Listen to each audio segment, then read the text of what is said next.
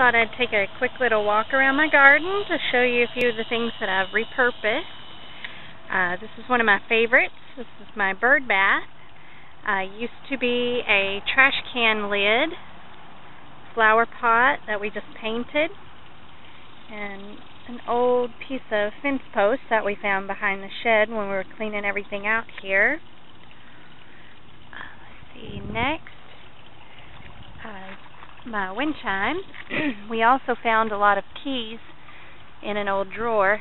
Didn't want to throw them away, so what I did, I just took a uh, grease trap strainer, some black string, and put them all onto the to the ends of the string. Makes a great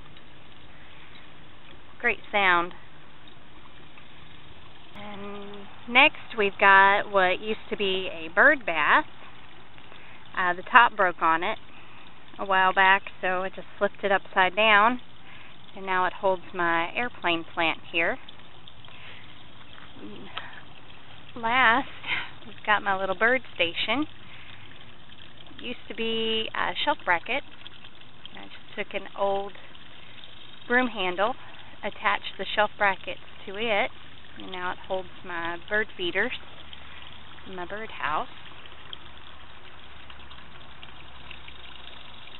is real simple. We've also got the trellis that we made out of some bamboo that we cut out of a friend's yard. It was real simple as well. Just a couple of big pieces, a couple of small pieces, screwed them all together.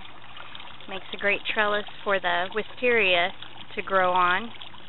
Also gives the the babies a little bit of shade